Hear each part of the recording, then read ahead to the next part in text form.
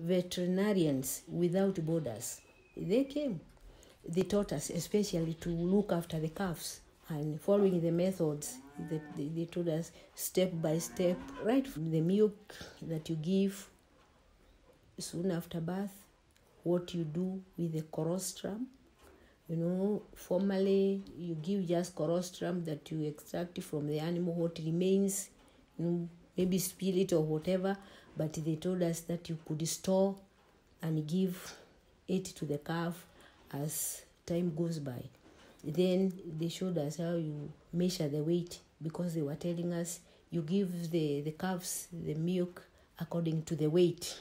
You just find a difference when you when you follow the their instruction. You find that the heifers grow very fast. You find that it is easy to look after them.